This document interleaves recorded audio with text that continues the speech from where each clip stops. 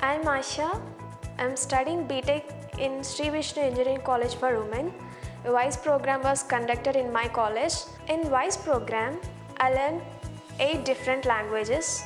First one is C and second Python. I done project on Python, web technologies, Java and project on advanced Java, Bootstrap, big data and project on big data.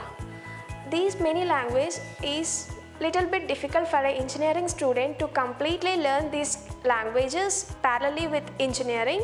So it's a unique opportunity for me because of WISE.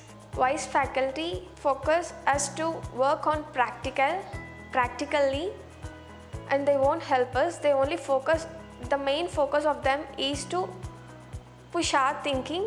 So even though if we won't get it, they will help us later.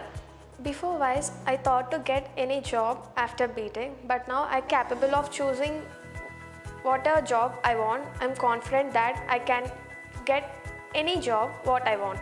Finally, I can say woman can explore herself in software through WISE.